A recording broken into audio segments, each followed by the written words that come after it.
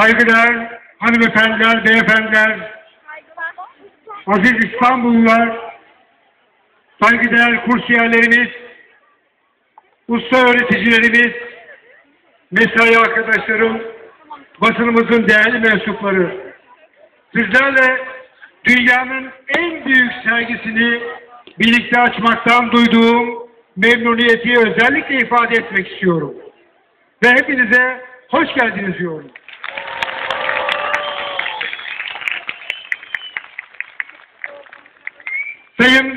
Başbakanımızın 1996'da başlattığı ve bugün İstanbul için hatta Türkiye için bir gurur vesilesi olan İSMEK çok daha farklı boyutlara siz değerli İstanbulluların katkılarıyla ulaştı.